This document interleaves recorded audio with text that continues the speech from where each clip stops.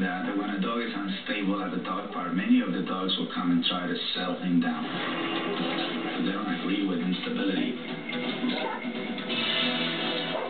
Where you touched, the intensity was good. Okay. That's what he boom. Physical touch is a very delicate thing to talk about it or to show because a lot of times people feel that a physical touch is actually hurting the animal.